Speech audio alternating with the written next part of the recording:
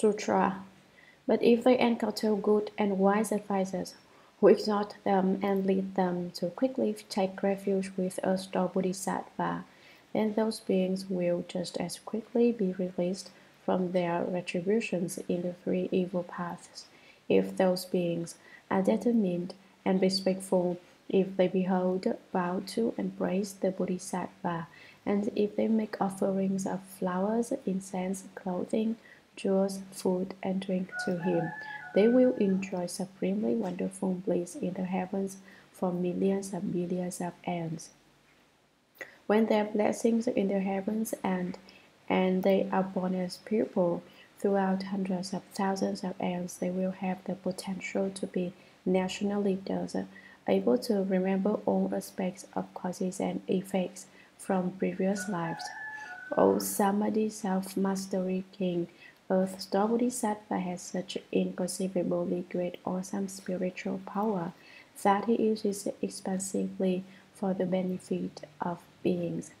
All of you Bodhisattvas should remember this sutra and proclaim and spread it far and wide.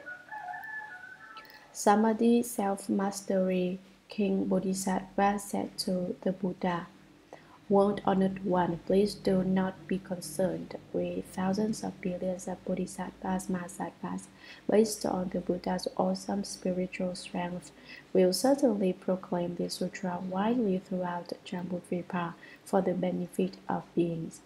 Having spoken thus to the world honored one, Samadhi self mastery King Bodhisattva put his palms together, respectfully bowed, and withdrew commentary, but if perhaps and perhaps not. Now, let us hypothetically assume that they encounter good and wise advisors. What is good and wise advisor?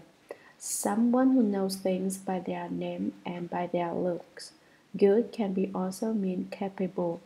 He knows and recognizes things. What things? He knows about the miserable afflictions of this triple realm and that the triple realm is not peaceful, just like a house on fire. There are three kinds of good and wise advisors. The first kind is good and wise advisors who protect the Dharma externally. This kind of good and wise advisor helps to take care of everything. What do monastic, uh, monastics need? They will protect and support the triple jewel and the monastery the monastic residents. They provide everything that monastics need. These are good and wise advisors who protect externally. The second kind is companion good and wise advisors. They are companions in that they cultivate with us and encourage us. Well, how do they encourage one another? They beat up their fellow cultivators. You help me look for my problems, and I help you look for your problems. Since people do not know their own phones, whereas other people will detect all for our phones easily. As it is said, those who are in the game do not see clearly. We cannot tell what is right or wrong in our own role. Those are those who are bystanders see clearly. Those on the sidelines can tell my phones and I can see your phones. This is called beating up on your fellow cultivators. So this is not about seeing others' phones and getting angry or you getting angry because you I tell you your phones. Instead of getting angry, study our errors, which turn the situation into encouragements and exhortations so that we may strive forward diligently polishing and chiseling each other. The great learning says, it is like cutting and chiseling. It is like polishing and grinding. Stone masons cut and chisel, polish and grind jade so that it becomes beautiful. Two fellow cultivators beat up in this way, looking for each other's phones. People who really want to cultivate must be companion, good, and wise advisors. In this way, there is also the third kind, the teaching good and wise advisor. Good and wise advisors who lecture on the sutras and speak the Dharma. propagate the Dharma, and teach living beings. These are all good and wise advisors who teach, who exhort them and lead them to quickly take refuge with a bodhisattva.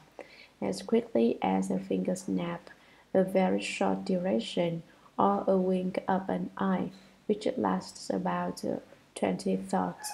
Twenty wings are one shana. The Prajna Sutra of the human King who protects the country, says that there are 900 births and deaths in one shana, in one kashana. In other words, in one kashana, 900 thoughts come and go. 64 kashanas exist in a matter of a finger snap. Here, a finger snap merely means a very short time. There are two interpretations for exhorting and leading them quickly. One that they will believe in and take refuge with Earth Store bodhisattva in a short in as a short duration as a finger snap, then go up to the heavens and attain eternal bliss.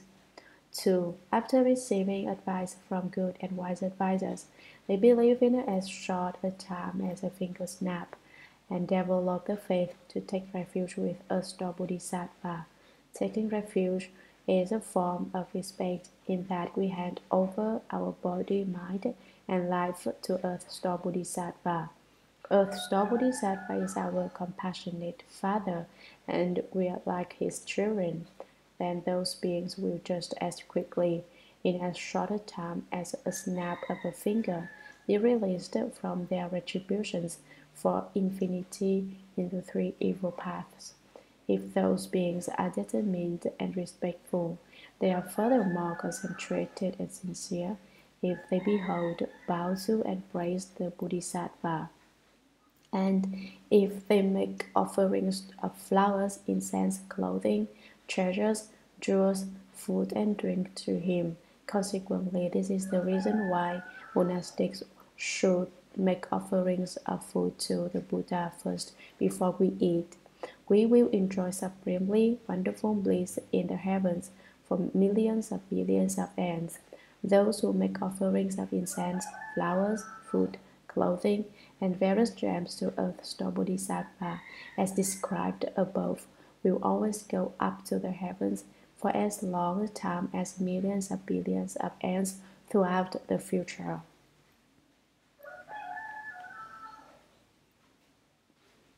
When their blessings in the heavens end and they are born as pupil, throughout hundreds of thousands of ants, they will have the potential to be national leaders, able to remember all aspects of causes and effects from previous lives. They recall what they did in their lives past and what occurred in their past lives. O Samadhi Self Mastery King, Earth Store Bodhisattva has such inconceivably and ineffably great awesome spiritual power that he uses it expansively for the benefit of beings. All of you Bodhisattvas should remember this sutra, the Earth Store Sutra, and proclaim and spread it far and wide. All of you should voluntarily circulate this Earth Store Sutra. The fact that we can hear the name Earth Store Sutra and hear an explanation of the Earth Store Sutra is based on the power of all the Bodhisattvas who vastly proclaim and circulate this sutra. If it were not for the Bodhisattvas who proclaim and circulate this sutra from behind the scenes, we may not be able to encounter such a profound Dharma treasure. Samadhi Self Mastery King Bodhisattva said to the Buddha, World honored one, Please do not be concerned. No need to worry about any of these problems. With thousands of billions of bodhisattvas, mahasattvas, based on the Buddha's awesome spiritual strength, will certainly proclaim this sutra widely throughout the southern Jambu Jambudvipa for the benefit of beings. Having spoken thus to the world honored one, Samadhi self mastery King Bodhisattva put his palms together respectfully bowed to Shakyamuni Buddha and withdrew to sit down on the side. Sutra. At that time, the four heavenly kings rose from their seats, put their palms together respectfully and said to the Buddha, World Honored One, Earth Store Bodhisattva has been making such great vows from distant eons past until now. Why is it that even now he has not yet finished taking beings across? Why does he continue to renew his vast and mighty vows? Please, World Honored One, explain that for us. Commentary At that time, when Samadhi self mastery King Bodhisattva respectfully bowed, withdrew to sit down on the side, the four heavenly kings who live halfway up Mount Sumeru, surrounded by the seven gems of gold, silver, lapis lazuli, crystal, carnelian, red pearls, and agate. The city built with these seven gems is 42,000 yojanas tall, surrounded by seven rows of trees, seven layers of nets, and seven rows of fences in an adorned fashion. The four heavenly kings are the heavenly king of the east, the heavenly king of the south, the heavenly king of the north, the heavenly king of the west. The heavenly king of the east named Datra, which means the heavenly king who guards nations. He protects all beings and nations. He has 99 sons, all named Indras. Some of the ghosts and spirits that he leads are fragrant spirits, while some are adore ghosts. Who are the fragrant spirits? They are the Gandharvas among the eightfold division of ghosts and spirits. On his head is a horn. He runs towards any place where there is some nice scent because he enjoys fragrances. The Jade Emperor is King Indra, who burns a type of Chandana incense so that when Gandharvas arrive, the Jade Emperor will order him to make music. Since the Jade Emperor is still in the six desire heavens and not yet left the state of the five sense objects, so he makes Gandharva play music for him. This music spirits of the Jade Emperor are also fragrance spirits. The heavenly king who upholds nations also lists all the ghosts that have a stench about them. They are called Putanas, who are also in the Sura Gama mantra. His capability or spiritual power is to release a stench so that he smells it wherever he is. The southern heavenly king's Sanskrit name is Vidaka, which means growth. He makes living beings good roots grow. He also has 99 sons, all named Indras. Each of these four great heavenly kings has 99 sons, all of whom are named Indras. All 396 of them are by the same name. Heavenly King Growth of the South also command most ghosts and spirits among which there is a type called distant ghosts and another type called nearby ghosts. What are distant ghosts? They stay far away from people. What are nearby ghosts? They enjoy being people's ancestors and go to families to become their ancestors. What are distant ghosts called? They are the Kumbhandas in the Suragama mantra. What do Kumbhandas look like? They look like a large crock with no head or feet. It is thick and round so that you cannot even see its head or feet. Since it stays far away from people, it does not like to be close to people. Hence, it is called a distant ghost. There is another kind of ghost called Preta, which is also named in the Suragama mantra. This type of ghost enjoys going into families with ancestral blocks and being the family's ancestor. This type of ghost enjoys being close to people, so they are called nearby ghosts. The heavenly king of the west has a Sanskrit name Bisa, which means various languages. He knows how to speak any language. He also has a title called Vast Eyes Heavenly King. He also lists some ghosts. Which ones? They are pisasas that eat essence. Eat essences. They are also insanity ghosts because they make people insane. This type of ghost is people's essences where intercourse occurs. They go to those places to eat this kind of impurities. If bizarre ghosts make people sick, then people do not know anything but have to stay in an insane asylum. Actually, victims of these ghosts will not be cured easily of this illness even if they were to stay at an insane asylum. The Heavenly King of the West also lists venomous dragons. You are shot with its poison as soon as it looks at you. You are shot with its poison as soon as you hear its sounds. You are shot with its poison if you have any contact with it, and you are shot with its poison as soon as you smell it. The Heavenly King of the West lists these two types of ghosts and spirits. He is in charge of these two. The Heavenly King of the North is the leader among the four Heavenly Kings. The other three Heavenly Kings must obey his command. The Heavenly King of the North also governs ghosts and spirits, which ghosts. He is in charge of Yaksha ghosts and Rakshasa ghosts. There are many types of Yakshas. Some walk on land, some travel in air, some are in the sky. Yakshas are also called speedy ghosts, which means that they run real fast, which is about the same as the speed of light hence their name speedy ghosts. Rakshasa ghosts are scary ghosts that, that they are very evil. The four heavenly kings govern these ghosts and spirits of the world. They go to the heavenly king of the north for meetings. The heavenly king of the north is called Vaina, which means the heavenly king of erudition. Since he knows many things, he the other three heavenly kings must listen to his order.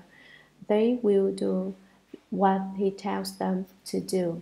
Now these four heavenly kings rose from their seats. Originally, everyone was listening, so the earth stopped sutra together. Now they all get up from their seats.